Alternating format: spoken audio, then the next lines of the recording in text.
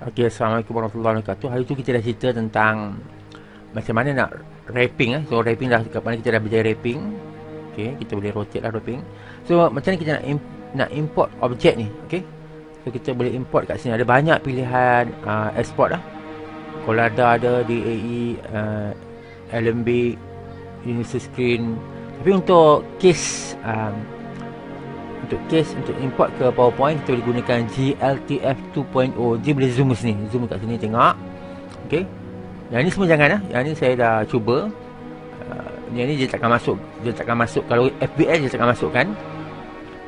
Uh, yang ni pun sama juga dia takkan masukkan. Ok yang masukkan uh, screen kalau kita gunakan yang ni saya gunakan contoh lah saya gunakan FBX ataupun OBJ so dia akan putih dia tak ada tak nampak So kita kena gunakan GLTB Okay uh, Export guna Minta maaf lah Export. GLTB tekan.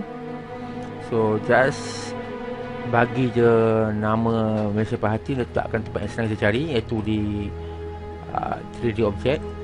So save lah. Okay Okay Selepas kita dah save kan tu Dalam proses Dia akan proses loading dan sebagainya.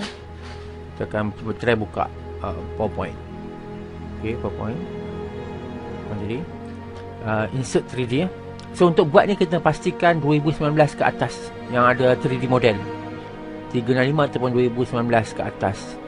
So kita kena masuk bahagian insert uh, 3D model ambil daripada from a file. Okey. So pergi pada 3D object. So tadi saya dah try, ada tiga saya dah try semua tak tak masuk gambar. So kita ambil yang GLB, okey, graphic library okay ambil ni ni. Sebab dia sekali dengan library okay yang ni baru ada masuk. Nanti kita nak buat presentation ke apa okay, ataupun kita boleh tekan uh, new slide. So benda ni kita boleh ambil. Uh, contoh kita nak buat powerpoint nak menyerangkan uh, objek. So kita boleh buat lah. Okay. ambil uh, gambar ni ambil dia punya ni. Kita copy. Copy dan boleh letak kat besar banyak.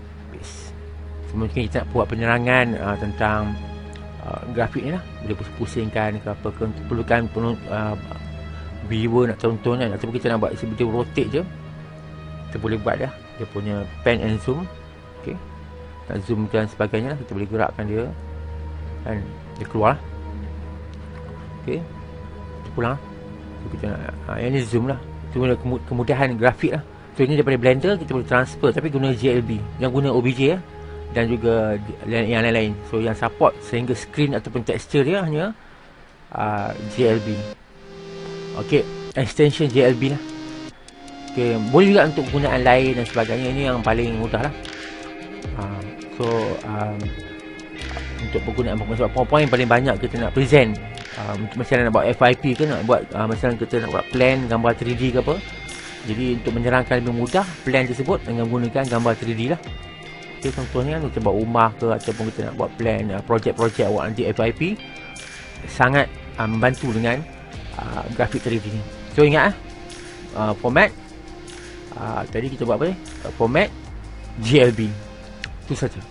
Harap uh, membantu pelajar lah untuk laporan FYP yang berkaitan dengan uh, binaan-binaan 3D yang perlu yang dari segi plan untuk memudahkan kepahaman uh, pembaca. Okey.